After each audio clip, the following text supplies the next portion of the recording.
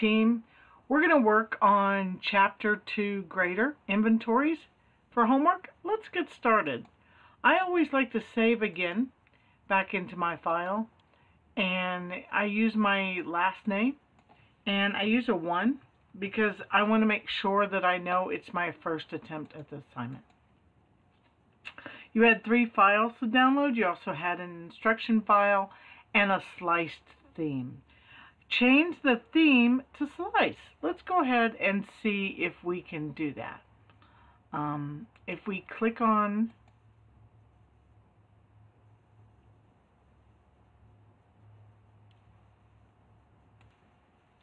page layout, we'll get over here to themes and we click on our themes and we are looking for the slicer. So you can kind of see that these things are alphabetic, close to alphabetical. Now that I say that, I see slice right here, but I don't see slicers. I think slice is what I was looking for. It looks like some primary colors. I'm going to click that to identify that. And then it says rename the sheet as bulbs. So we're going to come down here to our sheet tab. We're going to right click, go to rename, and type the word bulbs. And then it says, so you just click off of it, and it, see, it's already changed our title. I'm going to click on sheet 2 and right click and rename that one trees. Alright, and we just click off. Click the bulb sheet tab to make it the active sheet. So we go back there, and that's the end of step two. Step three, to the right of column B, so here's column B, which is column C, insert two new columns to create a new blank column C and D. So we're going to click on C column up in the gray area, right click, click insert, and there's your new C column and we're going to right click and click insert and there's your new D column. So we have a blank C column and a blank D column. By using flash fill in the two columns, split the data in column B into a column for item numbers and column C and category in column D. So that's what we're working on right now.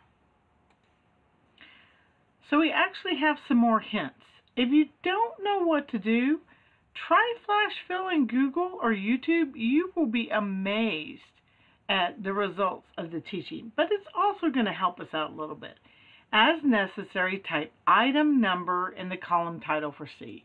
So we're going to click over here in C, and we're in cell C14, and we're going to type item, space, and number, which is our shift 3. Okay? And then it says you're going to type category in column D. So column D is cell D14, and we just type the term category. Good job. Now, delete column B by using the cut and paste command cut column C category and then paste it in the column G, and then delete the empty column C. Apply autofill in column A through. So one way to flash fill is right now we need item numbers in column C. And if we start typing 239 and then go down and type 1265, see how our data is matching the columns to the left. And then we come over here and we go flash fill. Well, we can highlight this and go flash fill. So what we're going to do is we start typing the item numbers 1239, hit enter, 1265, hit enter, and 1285. And Excel should see the pattern and fill for you. Now, my flash fill wasn't working. So what I did is I clicked in the cell beneath the 1285 and I came up here to the search menu and I was like, I've tried clap flash fill and ev everything. So then I typed enable flash fill. And when I did that and clicked enter, wow, did you see that? Excel just populated. It recognized the 1356 and the data that I was filling in. So let's try it over here in category. In category, we want daffodils. I like daffodils, by the way. Daffodils again.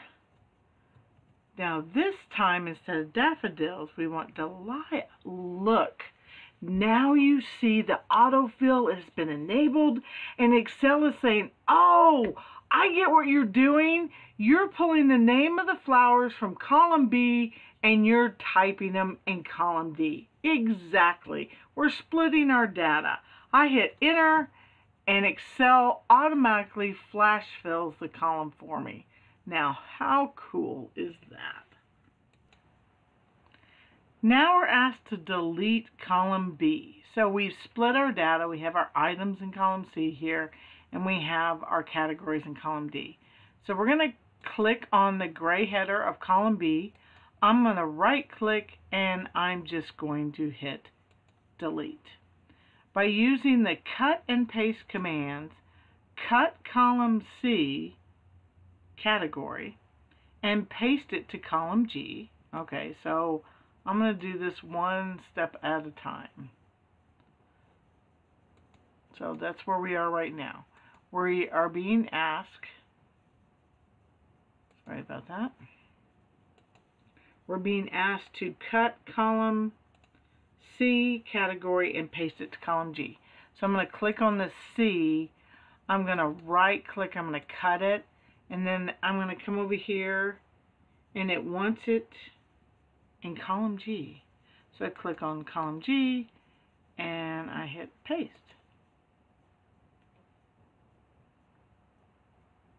And then delete the empty C column. So you come back to C, you right click, and you hit delete.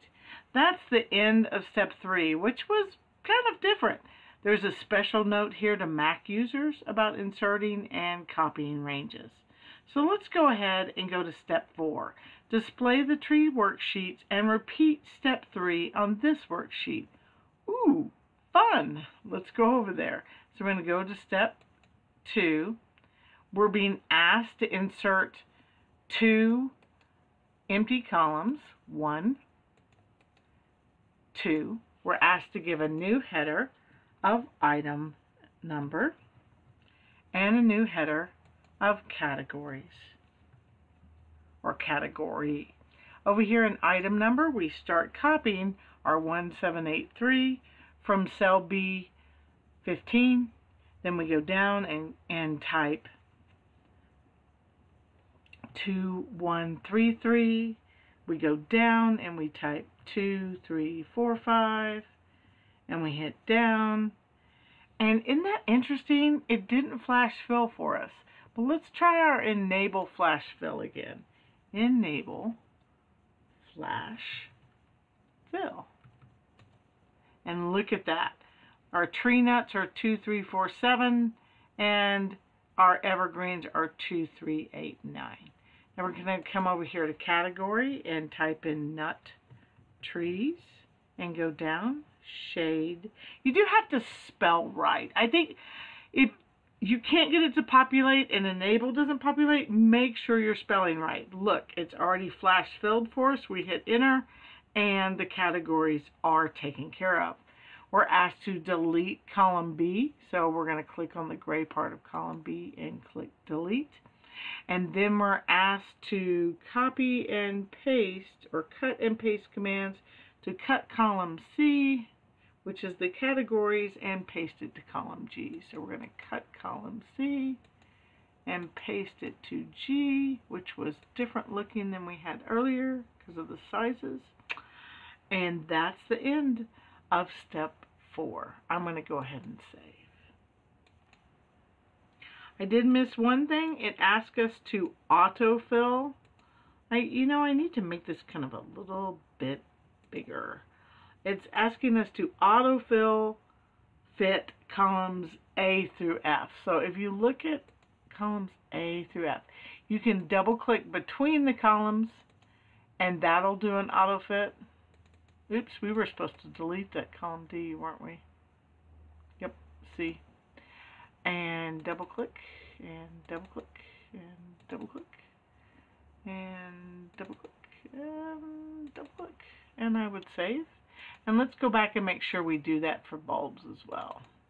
Just double click between the columns and it will best fit, auto fit your columns for you. And there we go. And save.